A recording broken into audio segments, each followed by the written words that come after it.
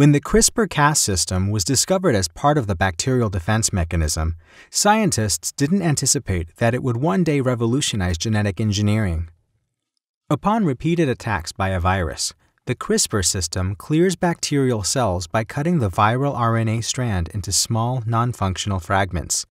This task comprises two crucial steps recognizing the viral RNA and cutting the strand to neutralize the viral genome. Viral RNA targets are recognized by small complementary RNA fragments produced by the bacterial cell. These bacterial RNA fragments are named after the DNA pattern the bacteria uses to produce them. Clustered regularly interspaced short palindromic repeats, in short, CRISPR. The viral RNA strand is cut by the protein Cas. Cas is an abbreviation of CRISPR associated protein. It belongs to the endonucleases, which are enzymes that cut strands of nucleotides. To execute their function, the CRISPR RNA and the Cas protein elements need to stick to one another.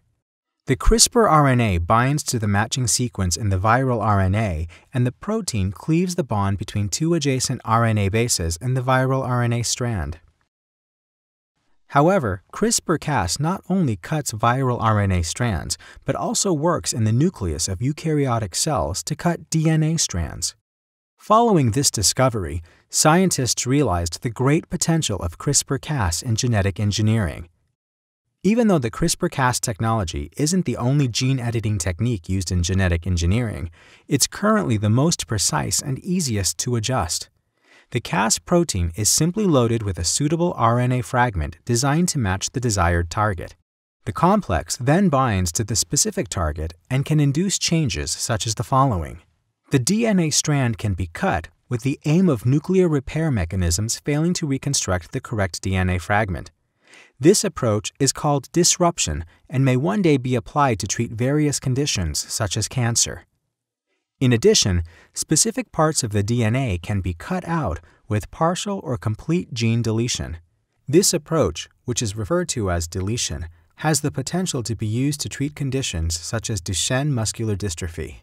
After cutting a DNA strand, new DNA sequences can be inserted to fix defective genes or expand an organism's genome.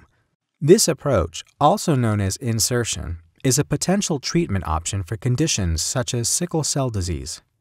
As you can see, the CRISPR-Cas system has great potential. However, there are several challenges that need to be addressed. These include specific delivery to target cells inside living multicellular organisms, as well as ethical concerns surrounding the genetic engineering of human cells.